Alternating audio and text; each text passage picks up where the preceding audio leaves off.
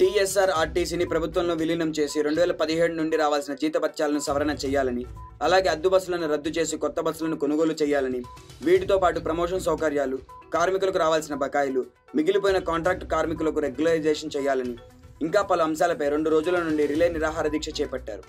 ప్రభుత్వం వెంటనే స్పందించి ఆర్టీసీ సమస్యలను పరిష్కరించకపోతే రాష్ట్ర వ్యాప్తంగా ఉద్యమం ఉధృతం చేస్తామని హెచ్చరించారు. సమస్యలు ఏదైతే యాజమాన్యం కార్మికులు రావాల్సిన ఒప్పందం చేసుకున్న అంశాల మీద పెండింగ్ సమస్యల మీద మరి ఇంతవరకు యాజమాన్యం కానీ ప్రభుత్వం కానీ సహకరించట్లేదు.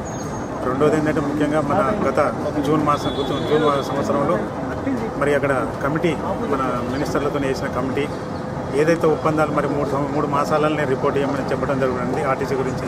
ఆ కమిటీ కూడా ఈ రోజు వరకు కూడా ఎలాంటి రిపోర్ట్ ఇవ్వలేదు. ఇక్కడ ఆర్టీసీలో మరి ఇక్కడ యాజమాన్యం కానీ ప్రభుత్వం కానీ దీన్ని నిర్వీర్యం చేసే దిశగా ఉంటుంది ఉన్నది. మరి ఇవన్నీ అధిగమించాలంటే ఇక మాకు ఆర్టీసీ కార్మికులకు మరి ప్రత్యేకంగా గవ- మన గత్యంతరం వేరే గత్యంతరం లేక మరి దశల వారీగా పోరాటానికి రాష్ట్ర కమిటీ పిలుపు పిలుపు ఇవ్వడం జరిగింది. ఆ పిలుపులో భాగంగానే మరి రాష్ట్రంలో ఉన్నటువంటి తెలంగాణ రాష్ట్రంలో అన్ని జిల్లాలలో మరి ఎన్నెన్ని డిపోలలో కూడా మరి రెండు రోజులు సామూహిక నిరాహార మన రిలే అంగర్ స్ట్రైక్ చేయాలని మరి చెప్పడం కూడా జరిగింది.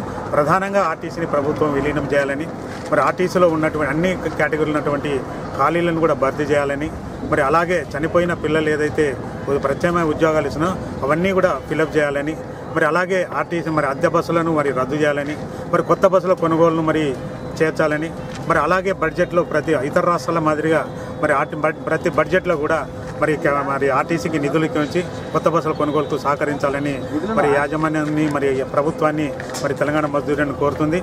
మరి ఒకవేళ సమస్యలు మరి ఈ దశల వారి యుద్ధం ఇది రెండవ దశ కావాల కార్మికులకు రావాల్సిన డిఏలు కానీ పెన్షన్ కానీ మరి ఆర్టీసీ నుంచి వాళ్ళు సిసిఎస్ కానీ పిఎఫ్ కానీ డబ్బులు విపరీతంగా వాడుకొని వాళ్ళ పెండింగ్లో ఉన్నాయి. గతంలో మరి ప్ర- ముఖ్యమంత్రి గారే చెప్పడం కూడా జరిగింది.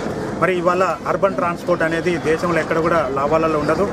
రసాల్లో విధంగా సంస్థ పట్ల కార్మికుల పట్ల వాయువులు అవలంబిస్తున్నటువంటి నిర్లక్ష్య వైఖరికి మరి అపరిష్కృతమైనటువంటి కార్మికుల న్యాయమైన కోరికలను సాధించడం కోసం మరి తెలంగాణ మజ్దూర్ యూనియన్ రాష్ట్ర వ్యాప్తంగా ఇచ్చినటువంటి ఉద్యమంలో భాగంగా పిలుపు అందుకొని కార్మికులు ఈరోజు రిలే నిరాహార చేపట్టడం జరిగింది. మా యొక్క ప్రధానమైన డిమాండ్లు మరి మా నాయకులు చెప్పినట్టుగా ఆర్టీసీని ప్రభుత్వంలో విలీనం చేయాలి.